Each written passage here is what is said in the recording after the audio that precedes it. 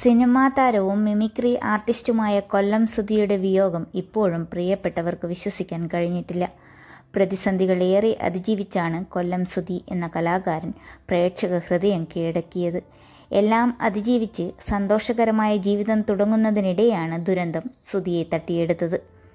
കുടുംബത്തിന് സ്വന്തം വീട് എന്ന സ്വപ്നം സഫലമാക്കാനാവാതെ പറക്കുമുറ്റാത്ത കുഞ്ഞുങ്ങളെയും പ്രിയതമയെയും തനിച്ചാക്കിയാണ് സുധി പോയത്. അതേസമയം സുധിയുടെ കുടുംബത്തിനെ ചേർത്ത് പിടിച്ചിരിക്കുകയാണ് ഫ്ലവേഴ്സ് ടി വിയും ട്വന്റി ഫോർ കുടുംബവും.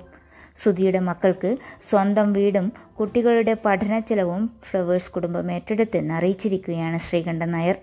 തങ്ങളുടെ കുടുംബത്തിലെ ഒരാളെയാണ് നഷ്ടമായത്. ആ കുടുംബത്തിന് അത്താണിയായി തങ്ങൾ ഉണ്ടാകുമെന്നും ശ്രീകണ്ഠൻ നായർ അറിയിച്ചു. ട്വന്റി ഫോർ ചാനലിന്റെ പരിപാടിയിൽ പങ്കെടുത്ത് മടങ്ങവെയാണ് അപകടം സംഭവിച്ചത്. കൊല്ലം സുധി ഉൾപ്പെടെയുള്ളവർ സഞ്ചരിച്ച കാർ എതിരെ വന്ന പിക്കപ്പ് വാനുമായി കൂട്ടിയിടിക്കുകയായിരുന്നു. തിങ്കളാഴ്ച പുലർച്ചെ നാല് മുപ്പതിന് തൃശൂർ കയ്പമംഗലം പനമ്പിക്കുന്നിൽ വെച്ചായിരുന്നു അപകടം. ഫ്ലവർ സ്റ്റാർ മാജിക്കിലൂടെയാണ് സുധി വലിയ പ്രേക്ഷക സ്വീകാര്യത നേടിയത്. താൻ സ്വരുക്കൂട്ടുന്ന പൈസ കൊണ്ട് സ്വസ്ഥമായി ഉറങ്ങാൻ ഒരു വീട് പണിയാൻ സുധിക്ക് കൃത്യമായ പ്ലാനിംഗ് ഉണ്ടായിരുന്നു. നിരവധി സ്റ്റേജ് ഷോകൾ കാലേക്കൂട്ടി ഏറ്റെടുത്ത് അഡ്വാൻസ് വാങ്ങി പരിപാടികൾ കഴിയുന്ന മുറയ്ക്ക് തന്റെ വീട് ഉയരുന്നതും സ്വപ്നം കണ്ട് സ്തുതിയിരുന്നു.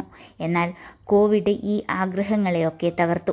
ആറുമാസത്തിനുള്ളിൽ വിചാരിച്ച പണമൊന്നും കിട്ടിയില്ല. വിദേശത്തും സ്വദേശത്തും ബുക്ക് ചെയ്തിരുന്ന എല്ലാ പരിപാടികളും പിൻവലിക്കപ്പെട്ടു. പ്രതീക്ഷിച്ചതുപോലെ വീട് ഉയർന്നില്ല. പതിനഞ്ചാം വയസ്സ് മുതൽ തന്നെ സുധി സ്റ്റേജ് ഷോകളിൽ സജീവ സാന്നിധ്യമായിരുന്നു. ആദ്യ ഭാര്യ ഉപേക്ഷിച്ച് പോയപ്പോഴും കൈക്കുഞ്ഞു മാത്രം വീട്ടിലുള്ളപ്പോഴും ശ്രുതി തളർന്നില്ല. കൈക്കുഞ്ഞിനെയും എടുത്ത് സ്റ്റേജുകളിൽ നിന്ന് സ്റ്റേജുകളിലേക്ക് പോയി.